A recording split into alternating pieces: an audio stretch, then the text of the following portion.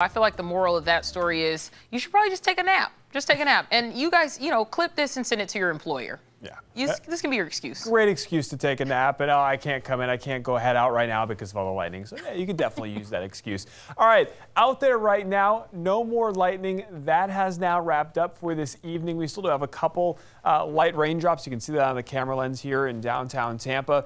Things were a lot stormier just a couple hours ago. You probably saw all that lightning and even a water spout out over Tampa Bay. But look at the temperatures right now. We had that rain cooled air that rushed down to the surface. Temperatures are now sitting in the 70s across most of the area. We're going to hold right around here throughout the overnight hours and right into tomorrow morning. Let's switch things over to the weather wall right now. I want to show you how warm it was before these rain showers and storms rolled through. We actually hit 93 degrees today in Tampa. Once again, another day with above average temperatures. The average high is 91, so we were about 2 degrees warmer than that. Low temperature is also 2 degrees warmer than the average in the upper 70s, but not even close to that record high of 97 degrees. We're going to have another warm stretch of weather all the way into next week. The 90s are going to stay with us, I think, by next weekend.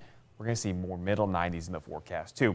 Out there right now, again, you can see a little bit of light green, but that's all dissipating. So again, maybe some light sprinkles, some uh, drizzle out there. But overall, we are going to be on the drier side for most of the overnight hours tonight. Now, here's a couple of those storm reports that we saw, though, around the Tampa Bay area. We did have that uh, water spout and then also some wind reports and some small hail over towards Lakeland. So some of these storms were on the stronger side, and they did drop, uh, drop a lot of rainfall in some areas. You can see towards Tampa, over four inches of rainfall in spots. In St. Petersburg, too, picking up several inches of rainfall, leading to some localized flooding out there on the roadways. So it did come down heavy as those storms were not moving very fast for about an hour or so, but thankfully they did move out and finally dissipate throughout this evening.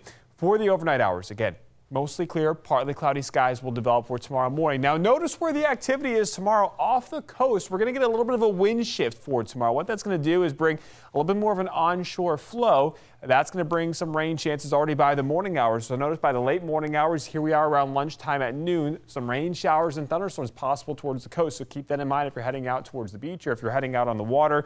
We could see rain showers and thunderstorms a little bit earlier than what we saw today. Then more showers and storms pop up inland for the afternoon and evening hours. And then again, like we saw today, those will wind down as the sun sets and we lose that daytime heating. So rain chances is still pretty high for tomorrow, around 70%. They are going to drop off, though, a little bit more towards the middle of next week, a little bit more of that pop-up variety showers and storms.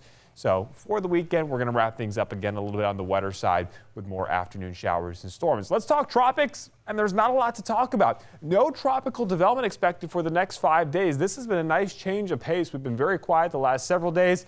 It looks like it's going to stay that way for most of next week, too. And really, towards the end of July, things look to stay pretty quiet. So for tonight, partly cloudy skies.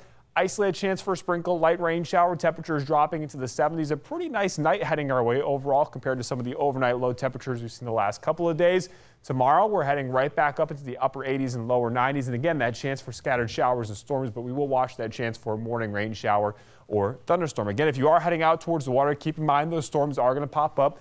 Winds are going to be out of the southeast, about 10 to 15 knots, seas around 2 feet. A little bit of a moderate chop out there on the bays and intercoastal areas. So not a rough day on those seas, but right around average for this time of year. All right, seven day forecast. Temperatures in the 90s throughout the next several days. Notice a little bit of that warming trend, though. By next Saturday, we're approaching the middle 90s.